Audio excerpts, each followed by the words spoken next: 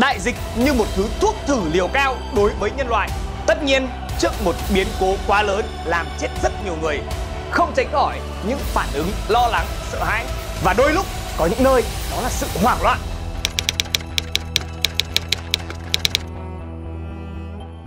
Dân ta nhớ một chữ đồng, đồng tình, đồng sức, đồng lòng, đồng minh. Dân tộc Việt Nam từ thời kỳ dựng nước và giữ nước đã nổi bật lên tinh thần tương thân tương ái, đùm bọc lẫn nhau. Tinh thần ấy càng được thể hiện mạnh mẽ khi đất nước đứng trước khó khăn, thách thức. Và đại dịch Covid-19 là một đại dịch bệnh vô cùng nguy hiểm ập đến bất ngờ. Vậy bạn nghĩ sao về lòng nhân ái của người Việt Nam khi đối mặt với thứ virus chết chóc này? Vậy nhân ái là gì? Nhân là con người, ái là tình yêu thương. Nhân ái là tình yêu thương giữa những con người. Đại dịch Covid-19 là đại dịch truyền nhiễm toàn cầu mà tác nhân là virus SARS-CoV-2.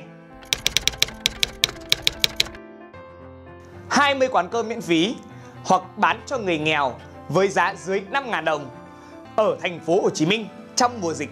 25 bác sĩ y tá ở bệnh viện Bạch Mai thay vì trở về nhà, họ chọn ở lại chống dịch sau khi hết hạn cách ly. 20 đến 100% là giá tiền phòng mà các chủ nhà trọ trên khắp cả nước giảm giá cho những người nghèo, người lao động, học sinh, sinh viên trong 2 tháng mùa dịch. 156 khách sạn và resort chủ động xin được làm nơi cách ly. 280 bác sĩ y tá đã về hưu, đăng ký quay lại chống dịch tại Hà Nội. 1.800 suất ăn miễn phí đã được phát trong 3 ngày tại Hà Nội khi diễn ra chiến dịch ai cần cứ đến lấy. 4.400 sinh viên trưởng y đăng ký tham gia chống dịch. 10.000 cán bộ chiến sĩ phải nằm bạt ngủ rừng để nhường chỗ cho người dân về cách ly. 17.500 bộ đồ bảo hộ đã được các nghệ sĩ công khai tặng cho các nhân viên y tế. 2 triệu 500 nghìn khẩu trang y tế đã được Hải Phòng và Thái Nguyên phát miễn phí cho học sinh và người dân. 135 triệu 373.860 đồng là số tiền cả nước quyên góp được thông qua tin nhắn cho Quỹ Toàn dân ủng hộ phòng chống dịch Covid-19. Dưới một góc độ nhất định, đại dịch như một thứ thuốc thử liều cao đối với nhân loại. Tất nhiên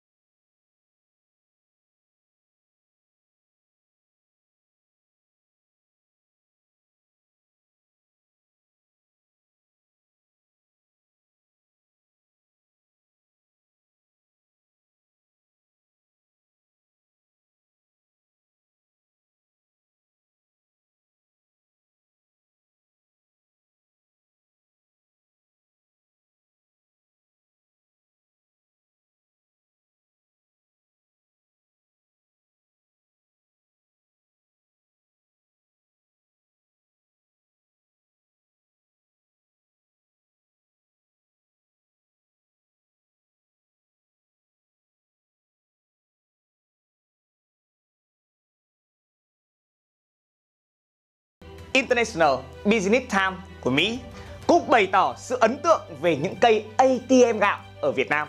Ví đây là một cách cho vô cùng khéo léo để hỗ trợ những người gặp khó khăn vì dịch bệnh Covid-19. Việt Nam không phải là một trong số những quốc gia phát triển nhất thế giới, nhưng chắc chắn Việt Nam là một trong số những quốc gia nhân ái nhất thế giới. Đó là bình luận của một độc giả nước ngoài về cây ATM gạo ở Việt Nam. Hơn cả lương thực, những cây ATM gạo này đang cho đi sự tử tế. Và tình yêu thương, lòng nhân ái đã lan tỏa từ Việt Nam sang mọi nước trên thế giới. Trong cuộc chiến chống dịch, những mô hình sáng tạo, những tấm gương dũng cảm đã lan tỏa lòng yêu thương, phục vụ lợi ích cho xã hội, khiến những người nghèo cảm thấy ấm lòng, đồng thời gây xúc động mạnh trong cộng đồng. Điều quan trọng là sau khi dịch bệnh qua đi thì tinh thần tương thân tương ái vẫn được duy trì và phát huy. Đại dịch là một thảm họa mà cả nhân loại cần cấp bách ứng phó. Nhưng sau cơn bi cực này, liệu mỗi cá nhân, mỗi cộng đồng và cả nhân loại có nên xem lại chính mình để suy ngẫm và tìm câu trả lời cho những vấn đề của nhân sinh. Chắc chắn niềm tin vào phẩm giá và tốt đẹp của con người sẽ nâng đỡ chúng ta vượt qua mọi khó khăn. Chúng ta đều biết rằng Covid-19 là đại thảm họa của toàn cầu. Và như các em đã biết, đây là một vấn đề rất dễ thi trong kỳ thi năm nay. Thầy đã ra 3 video. Thứ nhất là tinh thần dân tộc của người Việt Nam trước đại dịch. Thứ hai đó là thanh niên họ nghĩ gì về đại dịch. Thứ ba đó chính là video này Covid-19 phép thử của lòng nhân ái. Hy vọng với 3 video thầy đã sản xuất, các em sẽ học tốt hơn bộ môn ngữ văn và đạt chọn 2 điểm trong phần nghị luận xã hội. Nếu các em muốn đăng ký học thầy, các em vui lòng inbox cho fanpage lớp văn Thầy nhật chuyên đô thi đại học 11 12 để thầy cùng đồng hành với các bạn trong những ngày cuối cùng của kỳ thi.